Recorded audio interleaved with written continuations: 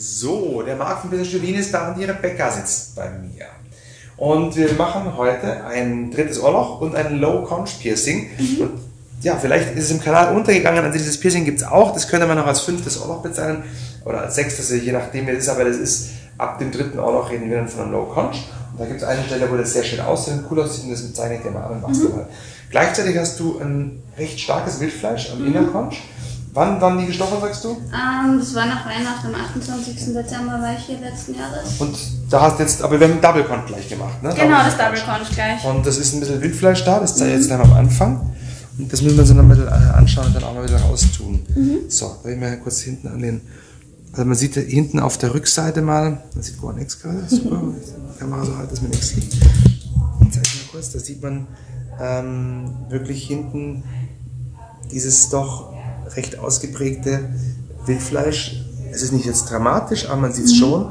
Und vorne hast du zum Glück im Öhrchen drin, haben wir jetzt nicht so stark. Da passt es eigentlich noch ganz gut. Aber wir werden hinten drauf jetzt mal als allererstes an die Wildfleischdiscs machen. Entschuldige, wenn die Kameraführung gerade ein bisschen wirr ist, liebe Zuschauer. Es ist nur für mich schwer, mich auf fünf Sachen gleichzeitig zu konzentrieren und euch das auch noch alles gut einzufangen. Nämlich oft gar nicht so leicht, da überall hinzukommen.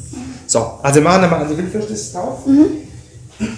Die Stablängen Bleiben oder werden kürzer? Nee, die lassen wir genau, wie sie sind. Ähm, wir werden aber aus Sicherheitsgründen ganz normalen Schmuck reinmachen. Wir wir wissen nicht, ob es jetzt äh, auch bakteriell eine Ursache hat Ja. oder ob es jetzt rein nur eine Wundheitsstörung als solche ist. Es ist ein bisschen verklebt auch, deswegen machen wir das komplette Programm. Soll ich vorne drauf auch äh, jetzt Glitzersteine machen oder machen wir es dann ohne? Nein, nein, doch nicht bitte. Du glitzerst gerne. Ja. Schon. Du hast letztes Mal kein Video gemacht, oder? Nein, genau, da war es ein bisschen eng von der Zeit her. Deswegen, aber für mich ist es eine Ehre, weil eben du sagst, es ist jetzt nicht bei jedem, manche wollen auch nicht, manchmal ist es von Genau. der Zeit her. Und Freut mich, ja, das, das wäre jemand eine Ehre, das habe ich noch nie gehört. doch, ich finde schon, das Leute ist was Besonderes, finde ich. Danke, danke. Auf jeden Aber Fall. es ist wirklich so. Also ich äh, mache nicht immer ein Video. A, es geht sich zeitlich nicht immer aus. Mhm. B, muss der Typ Mensch auch dazu passen. Ähm, und das muss halt einfach immer sein, das Zusammenspiel muss dann da sein. Und Genau, ja. in dem Fall mache ich das gern. Wenn es dir eine Ehre ist, dann noch viel lieber. Auf jeden Fall. Na, eben, ich schaue jeden Tag. Wirklich? Äh, ja, also ich glaube, abonniert habe ich, da war es ihr bei 20, um die 20.000. Ich habe es damals einfach nur gefunden, weil äh, meine beste Freundin und ich angefangen haben zu reden wegen Nasenpiercing. Und ich bin jemand, ich lasse nichts machen, bevor ich mich nicht informiere, egal was es ist. Und zu der Zeit war ich krank und bin zu Hause. Zieh mir das bitte gelegen. stärker, ja. Ich sag's nur kurz fürs Video, ja. Und dann habe ich bei YouTube deine Videos gefunden, abonniert und dann halt gesuchtet, wie man es so schön sagt. Und seitdem, ja, einfach, weil eben wenn man krank ist und im Bett liegt und dann irgendwann kann man Fernsehen nicht mehr sehen, das war dann irgendwas, irgendwie was Neues. Ja, klar, im scheiße. genau. Jeden Tag den gleichen, den gleichen Quatsch. Genau, ja, weil wenn man dann einmal daheim ist, merkt man, was für ein Müll im Fernsehen läuft. Das ist schon krass, gell? Das geht mir aus. Also wenn man, Ja. wenn man mal krank ist, dann ich gucke gar nicht mehr fern. Ich Nein, will ich dann auch nicht, Netflix oder so wirklich. reinziehen, ja, da wirst du Genau. beklopft, was da alles Ja, Scheiße läuft. oh ja, es ist echt schlimm. Es ist eh egal, welcher Sender nämlich auch. Ja. So, also egal was du da schaust auf Dauer, wird Mhm. jeder wiederholt das gleiche vom anderen. Genau, ja. So. Ja, also der untere ist nicht so starkes Wildfleisch, im oberen schon. Okay. Mhm. Aber das werden wir jetzt wegkriegen. Mir wäre wichtig, wenn du, na gut, du kommst, du, wo, wo bist du her? Aus Graz. Ja, so weit ist es ja nicht weg. Na, so weit nicht. Vielleicht können wir doch nochmal kommen, wenn das, dann, wenn das Mhm. Wildfleisch weg ist, dass wir es dann doch nochmal anschauen und das dann vielleicht doch wechseln, weil das Wie lange dauert das ungefähr? Du sagst, ich weiß, man kann es nicht genau sagen, aber kann man ungefähr trotzdem? Hm, nee, also sechs Wochen im Schnitt. Okay, gut.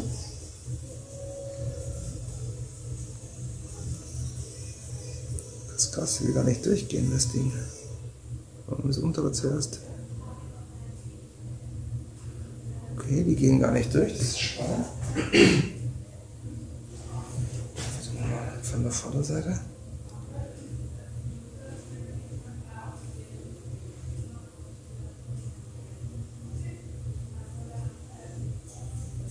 Tut weh ein bisschen, oder? Ein bisschen. Ich glaube, es ist auch leicht entzündet, aber das ist das erste vor Tagen. Davor war es immer so unauffällig und so. Das ist Das easy going und jetzt die letzten Wenn man ständig Tage. den Stab, zumindest aufdehnen, weil das geht von selber nicht rein. Wir lang rummachen. In der Mitte drin hat sich's verlegt, also in der Mitte geht's nicht so durch, wie es soll. Zum Schlafen wahrscheinlich. Oder kann man das nicht sagen? Das Blöde ist, von einer Seite komme ich super durch. Und von der anderen Seite nicht. Interessant. Ja, ist wirklich interessant, weil das Problem ist, wenn die Stichkanäle sich dann teilweise so die Hautknorpel übereinander legen, dann rutscht der beim. Jetzt habe ich ihn. Dann rutschen die, die Hautschichten übereinander und dann sind die Löcher nicht mehr gleich. Dann verschiebt sich das teilweise. Und dann kommst du echt voll schwer durch, so wie jetzt. Und das ist dann oft der Fall, wenn einer jetzt nicht, nicht äh, sage mal, sich dann auskennt. Als Piercer kann, kommen oft die Aussagen, okay, wir müssen es mal stechen oder es Ah, geht okay. und Nochmal sonst was. Ja. Wobei natürlich, das ist falsch, das Loch ist ja da, das war einfach zwei Sekunden noch drin. Das kann natürlich nicht in zwei Sekunden zuwachsen, aber das ist dann echt so, wo man sagt, okay, das ist ein bisschen Challenge. Und wenn ich mal an den Stab brauche, von beiden Seiten und noch zwei Minuten, dass es reinkommt, dann heißt es schon was.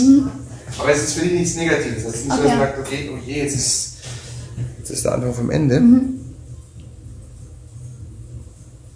Der geht besser, schau. Ich bin nämlich zwischendurch in den letzten Wochen Bauchschläfer geworden wieder. Ich habe immer so phasenweise, ich liege monatelang auf dem Rücken, schlafe auf dem Rücken ein, dann wieder Seite und in der letzten Zeit schlafe ich oft am Bauch. Ich Okay. weiß nicht, ob ich nicht da, dadurch, dass ich auf dem Ohr dann wahrscheinlich drauflege, ob es vielleicht dadurch noch ist. Mm, macht natürlich schon was aus. Also das muss man sagen, ganz klar, die Bauchschläfer drehen ja meistens den Kopf auch so, so ganz komisch rüber. Genau. Und ich habe nämlich auch ein extra Nackenkissen, das ist relativ hart. Das heißt, wenn ich wahrscheinlich einmal blöd liege, dann. Dann kommt da voller Druck drauf. Genau. Das würde ein bisschen was erklären. Vielleicht kannst du doch wieder ein bisschen zum Rückenschläfer werden. Ich werde mich dazu bewegen. Habt ihr jetzt eigentlich schon diese Kissen, die du im Video gezeigt hast? Ja, wir haben jetzt das zweite Kissen ja auch der Nana gegeben. Das von der ähm, Dings muss ich mal jetzt mal zurückholen. Die bringt man das die nächsten Tage vorbei. Es sind noch Prototypen, also das ist Prototypen. Ja. Wir haben jetzt eine Endfassung, das was Nana mitbekommen hat. Ähm, das sehen wir Nana Ja. das Special. Das ist jetzt schon das Endtyp. Ähm, Ah, okay. Natürlich werden wir jetzt endlich mal coole Bezüge dazu machen auch. Äh, und dann äh, wird es quasi das geben. So, dann haben wir das geschafft.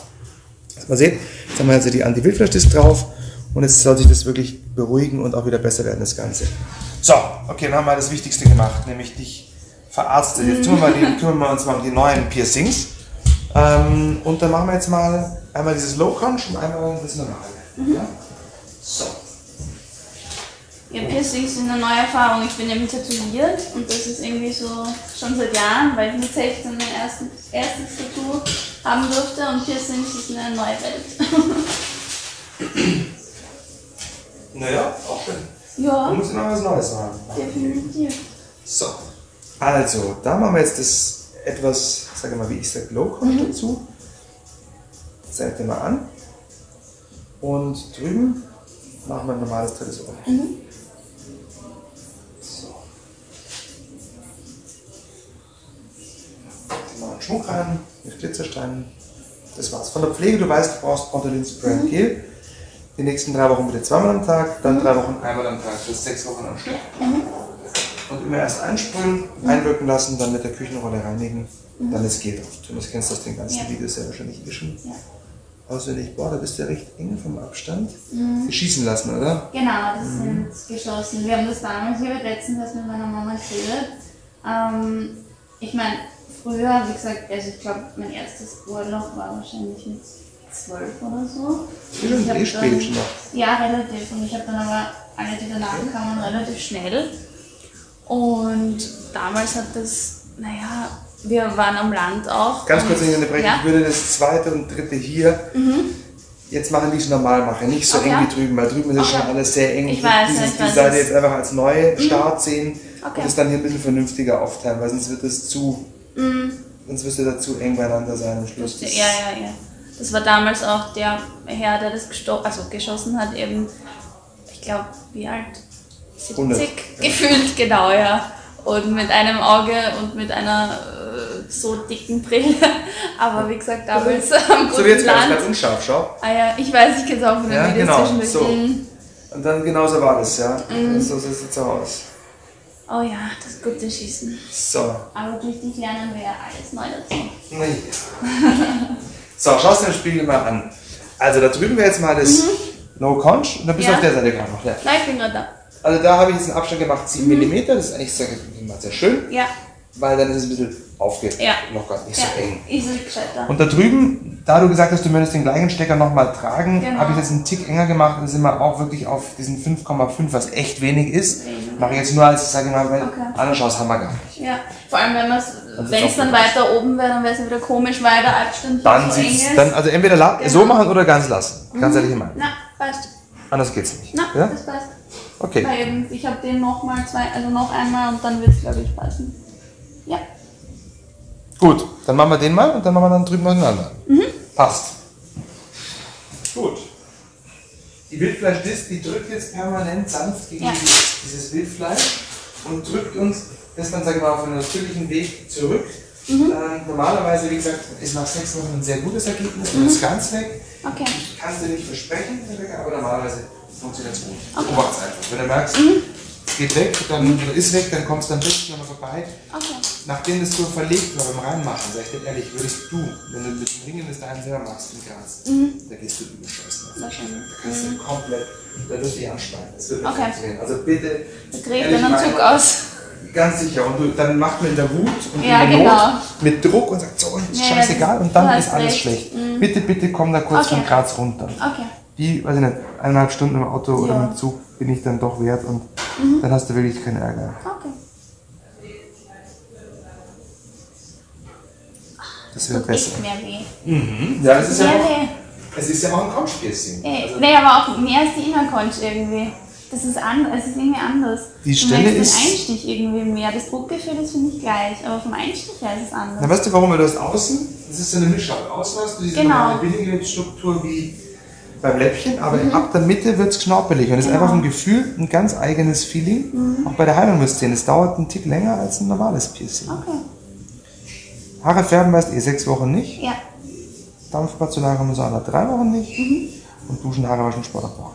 Haare färben jetzt wirklich nur, wenn ich es zu Hause allein mache? Nee, beim? Friseur auch nicht. Friseur Absolut. Auch nicht. Okay. Jedes Ohrpiercing ist für mich K.O.-Kriterium Okay, Haare färben. Okay, Darf man auf keinen Fall machen. passt, dann wird nächste Woche nur geschnitten. So. Gut, das war's. Darfst du in den Spiegel schauen. Mhm. Also unbedingt, lass dir da vom Friseur nichts aufquatschen. Nein, nein, nein, nein, nein, um Gottes Willen. Ich habe dir das in diese Grube reingemacht. Ja, ich finde schön, das ist cool. Das sieht schön aus. Und du musst Ja. wir müssen nur gucken, später vom Schmuck muss der halt einen Tick größer und der dann noch ein, auch ein Tick, dass es wieder passt. Weil es Ja. ist optisch wirkt jetzt der größer als der Ja, ja, und dadurch wirkt der Abstand Aber es aus. ist schön, ich finde es cool, weil es genau in dieser Coole drinnen ist. Mhm. Gut, drehen wir uns da drüben hin. Hoffen auch rüber. Passt, danke.